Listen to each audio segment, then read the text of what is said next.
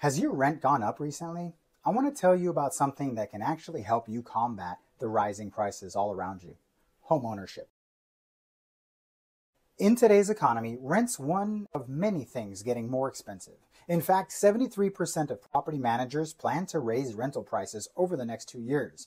So if you're renting your home right now, there's a good chance you'll have to make a tough decision about your lease and your budget sooner rather than later. That's why homeownership is worth thinking about as an alternative. When you own your home, you don't have the risk of someone raising your monthly payments. Instead, you have a fixed mortgage payment that locks in what likely is going to be your largest expense each month. And that's just the beginning.